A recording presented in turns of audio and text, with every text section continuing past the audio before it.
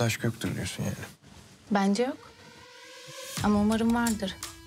Umarım beni bu fikirden vazgeçirebilecek biri vardır ve yakınlardadır. Seviyor ama sevdiğini söyleyemiyor. Dicle içeride ne oldu sana öyle?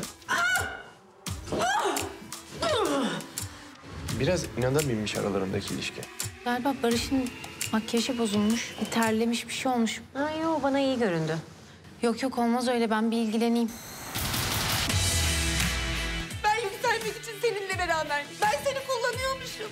Çınar, bence bu işe bir son vermelisin. Mayda kusura bakma ama kimle birlikte olacağımı sana soramayacağım. Bir sorun mu var? Onu bize Dicle söyleyecek. Ben ne anlatacağım Mayda Hanım'a? Mesela babanın kim olduğunu söyleyerek başlayabilirsin. Menajerimi ara yeni bölümüyle Pazar Star'da.